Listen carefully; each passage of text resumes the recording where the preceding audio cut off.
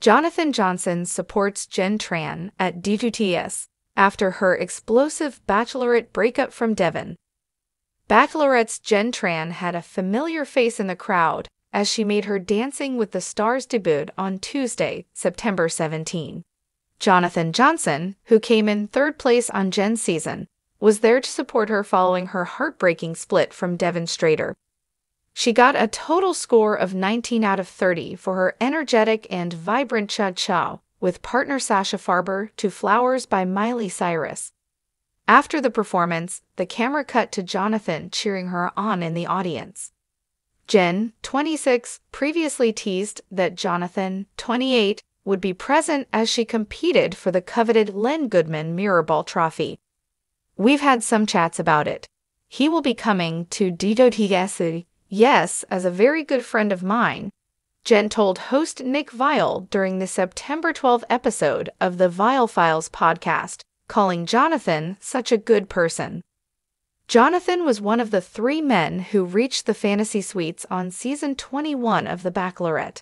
However, he was sent home at the subsequent rose ceremony, and Jenn went on to get engaged to Devin, 28.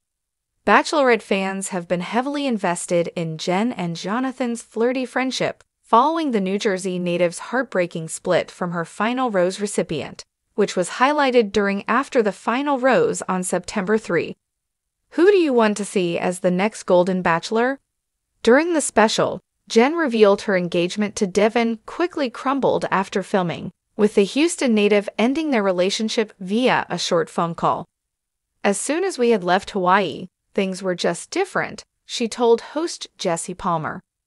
It kind of just felt like he was pulling away all the promises that he had made to me, wanting to move somewhere together, and wanting to have this future planned out, and wanting to see each other all the time. Jenn confronted Devin on stage, where he insisted his feelings for Jenn were genuine but faded. Obviously, I failed you, he said, and there's nothing I can say other than that but everything I felt for you is real.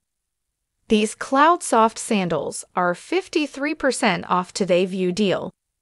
More than a week later, Devin broke his silence on his split from Jenn in an attempt to share his side of the story. All I'm trying to do here is show that this was a two way relationship, Devin said via a 13 minute clip on Instagram. And I think we can both be held accountable. I'm in no way sitting here trying to say I was perfect throughout that relationship, but I am looking to clear up a few rumors and the false narrative that is being said about me. Devin then said the phone call breakup was forced out of him. I did try to meet up with her. I did try to go to the happy couple weekend, and she did not let me, he said, as saying she didn't deserve to go if it was just going to be a breakup. She kind of forced my hand.